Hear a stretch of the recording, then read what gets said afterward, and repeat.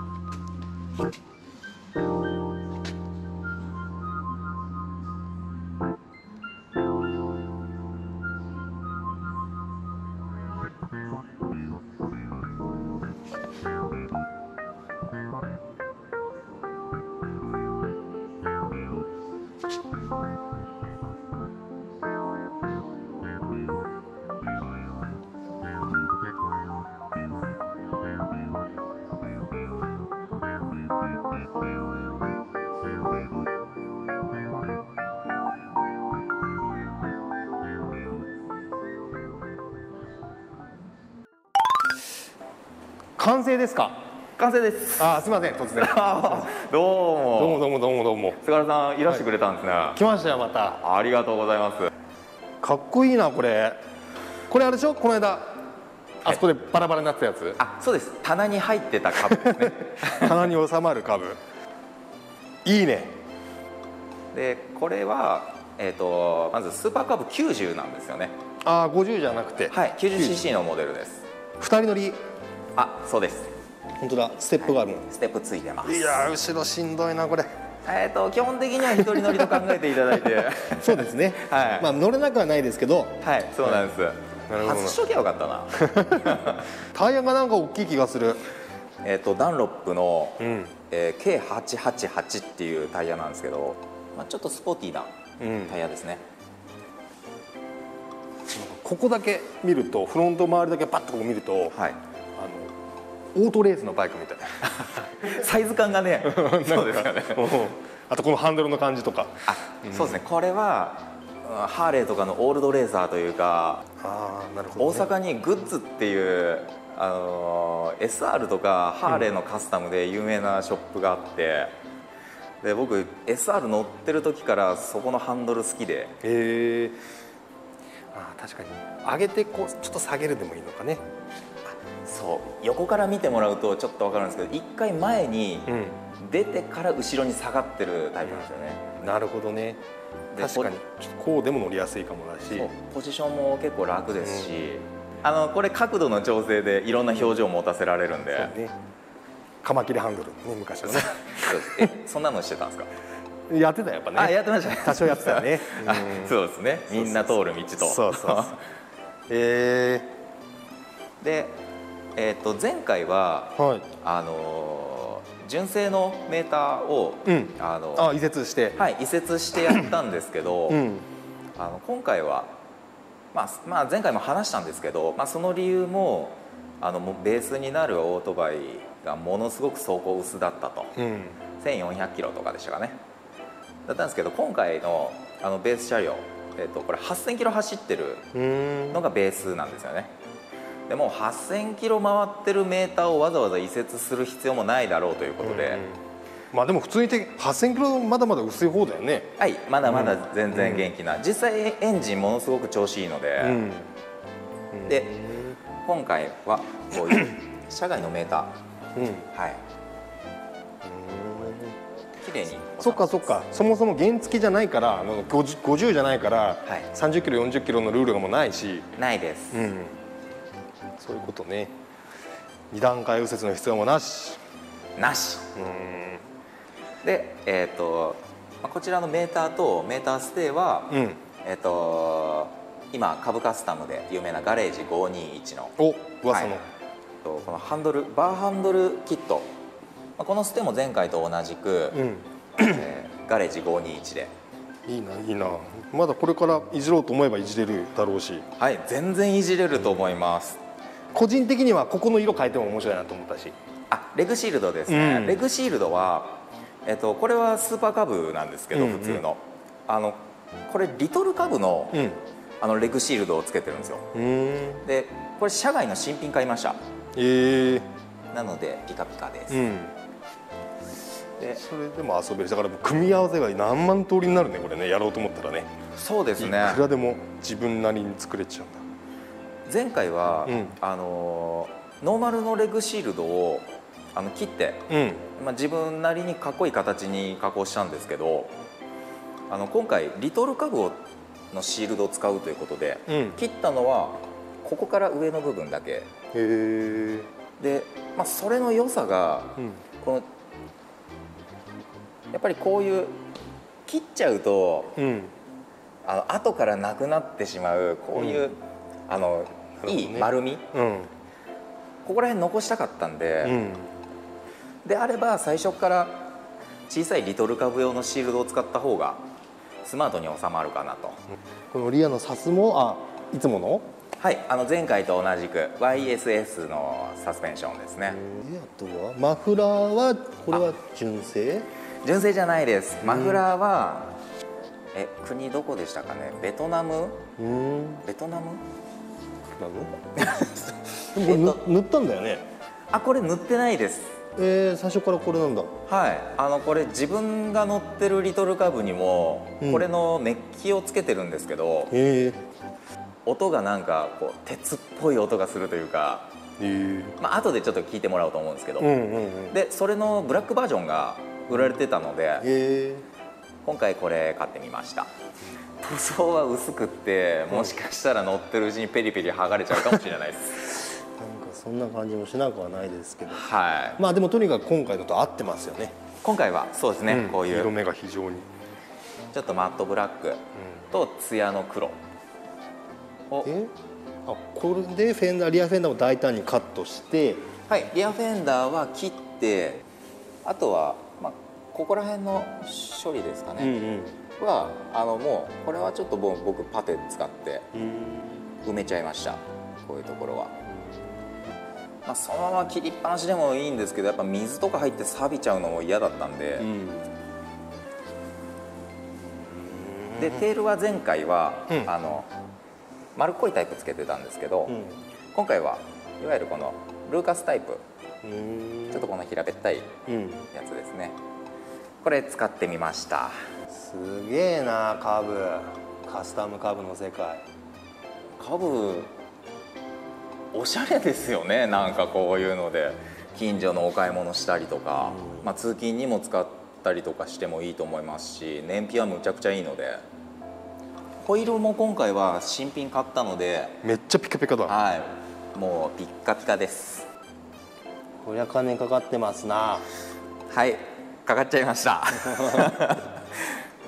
ミラーはまあ前回と同じく、うん。あのこのトライアルミラーと呼ばれる、うん。まあ、しあの下につけてもらってもあの見にくいよっていう人はこれあの左右反対にして上につけてもらったら普通のミラーになりますんでちょっと今はスタイル重視で下につけてます、相変わらずなんですが、うん。あのキーシリンダーはこちらにうん。移設してありますいやはやいやはやここ開けてもいいのかな？あ大丈夫です大丈夫です。ちょっとねキャップは、うん。あの見た目は残念なんですけどあのゴムパッキンとかもものすごく綺麗だったので、うん。え動きもスムーズですし、うん。なのでここはちょっと古いまんま使ってます。でここはちょっと錆がひどかったので、うん。あのカバーと中のパッキン。これは純正部品で新品に交換してますじゃあメーターもちゃんと動きますよと。動きます、でシートは前回と同じくケップスピードの、今回はブラウンです。といった感じでしょうか。うん。一回ちょっとエンジンかけてみますか。はい。結構勇ましい音がするんですよこれ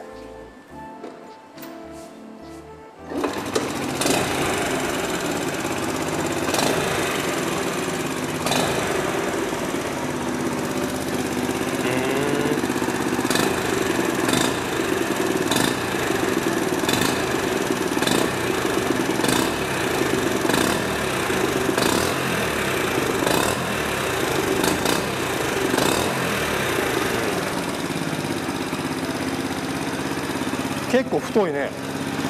結構バリバリと言うでしょう、うんうんまあ、今回のこのオートバイはもう値段決まってまして、お。税込みでうん。45万8000円という値段でうんやらせてもらおうと思ってます、でもさっき今価格はちょっと聞きましたけど、はい。さっき原価聞いててはい。なかなかしんどいですね。えーっとそうなんです。やっぱりこれもやり始めたばっかなので、まあ、品質の良いものを、うん。まあ、安くお出ししたい。うん。あの正直やっぱどれだけ計算しても、このあとずっとこの価格維持できるのかなってちょっと不安もあったりします。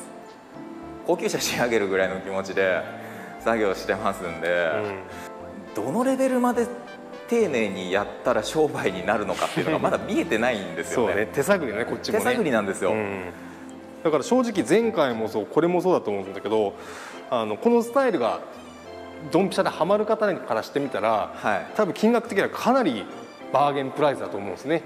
まあ、税込みで45万8000円はちょっとバーゲンプライスかなと思うんですが、はい、あの気に入った方に乗っていただくのがうん。長く乗れる仕様にしてますんで、多分間違いなく同じように1から、えー、株。スーパー株だっけこれ？スこれはスーパーカブのうん。90cc 90ですね、をどっかからノーマルの個体を持ってきて同じようにし一から自分で個人の方がやろうと思ったら多分それでは収まらないはずなんで。はい。多分、あのびっくりする値段になっちゃうかなって。まあもちろん、あのベース車両の値段にもよるんですけど、そうね。ちょっと今後が楽しみですよこれは。ありがとうございます、まだそっちに控えてるわけでまだ、控えてます、うん、ベース車両が。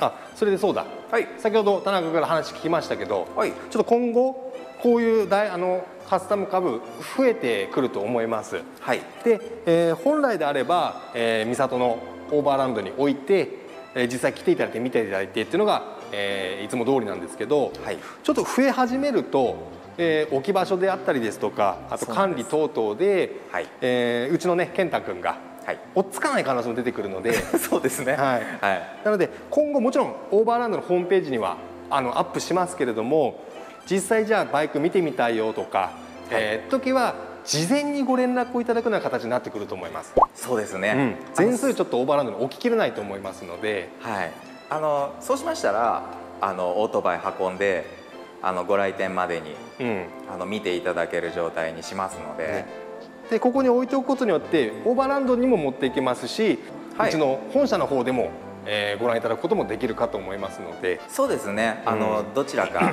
あの希望の場所を伝えていただければ、うん。その2店舗であれば、うん。あの運びますんで。なので、えーあくまでもうちのホームページには掲載で販売はさせていただきますけども今後ちょっとその事前予約じゃないんですけれども、はい。一言前の日前前の日ぐらいまで言っておいてもらえれば準備しますよっていうちょっとごめんなさいややこしくなるんですけど。はい。すいません、ちょっとフラッと来ても多分ないと思いますお店には、そうね。興味がある質問があることに関しても田中君作ってる本になる田中君はい。が受け答えするケースが増えてくると思いますので、そうですね、うん。あのおそらくその方があの詳細なことをお伝えできると思うので、なのでちょっと今後、えー、とこのバイク株のカスタム販売に関してはちょっと売り方展示方法変わってくると思いますので、はい。はい、その辺もちょっと合わせてごはい。了承いただければなと思います。またホームページの方にもね、うん。見たい方はあの事前予約が必要ですというふうにあのうん。文言つけておこうと思いますので、うん。じゃあちょっとねこっちにあの株に関しては細々とやっていきますまずは。まずはそうですね、どんどんどんどん、ま、あの毎週のようにアップはできませんのでそうですね。田中君ひあの一馬力でやってますんでちょっと長い目ではい。あのこちらを見ていただければと思います。はい。はい、ではでは今回は株のご紹介でした。はい。ありがとうございました。ありがとうございました